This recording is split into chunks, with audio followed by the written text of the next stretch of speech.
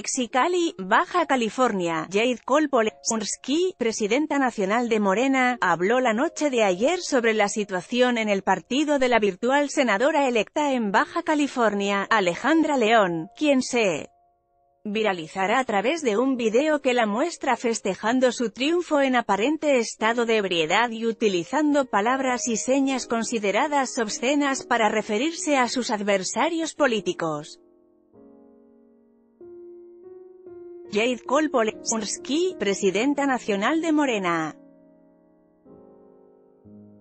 Foto, cuarto oscuro en el programa Si me dicen no vengo, conducido por el periodista Joaquín López Dóriga. Polensky señaló que León podría ser sometida a un proceso de expulsión de Morena al no seguir con el código de comportamiento y ética del partido.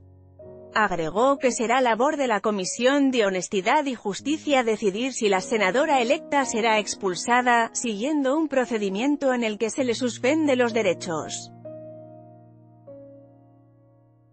Nosotros preferimos quedarnos, de verdad, sin senadores, diputados, lo que sea, pero cumplir con lo que queremos ser comentó Polensky.